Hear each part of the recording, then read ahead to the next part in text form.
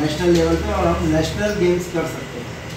हम जितने लोग मिले हैं आपस में, जो संस्था के एग्जीक्यूटिव कमेटी के मेंबर्स हैं, वो सब बिजनेसमैन हैं। लेकिन सोशल वर्कर्स इनमें से कोई भी ऐसा नहीं है जिसको दो रुपया कमाना है इस संस्था पे।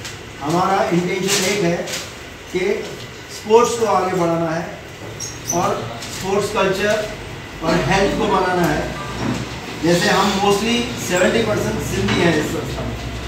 ठीक है? हमारे सब लोग जितने भी हमारे एग्जीक्यूटिव कमेटी के मेंबर्स हैं, हर कोई किसी ना किसी संस्था से जुड़ा है सोशल वर्क करने के लिए।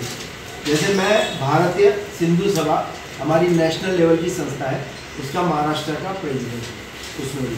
तो हमारा इंटेंशन एक ही था, सबसे पहले जो शुरुआत की हमारे सिंधी कल्चर में। मैं रूट से ऊपर आता हूँ। हमारे कल्चर में स्पोर्ट्समैन आप देखेंगे zero point two five percent भी नहीं होंगे। हमारा, हमने दिल में वही तमन्ना लेके आगे बढ़े हैं कि अपने सिंधी कम्युनिटी में से भी हम स्टार्स को ऊपर लाए। पहला ये बात, पहला इंटेंशन ये था। लेकिन जब हम जुड़े संस्था रजिस्टर की तो हमने देखा काफ़ी बिछड़े हुए लोग हैं विलेजेस में, तालुकास में, जो अच्छे प्लेयर्स हैं। लेकिन बिकॉज़ ऑफ़ फाइनेंस प्रॉब्लम वो लोग बेचारे स्पोर्ट्स में आगे नहीं बढ़ पाते हैं। या थोड़ा आगे बढ़ के फिर उनको रुक जाना पड़ता है कि माँ बाप बोलते, बेटा, हम, हमारा दाल रोटी कहाँ से चलेगा आप लोग बताइए तो एक साल के बाद हमारा टारगेट एक साल तक का है।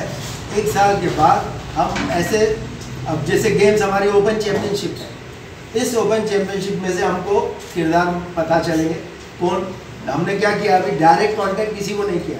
अकेडमीज को अकेडमीज एंड कोचेस कोचेस जो रहते हैं उनसे हमने बोला आप अपने बच्चे लाओ तो जैसे आएँगे उसमें से जो उभरते स्टार्स होंगे हम उसमें से एक अपनी टीम बनाने की सोच रहे हैं और उनको ही आगे लेके जा जा सके।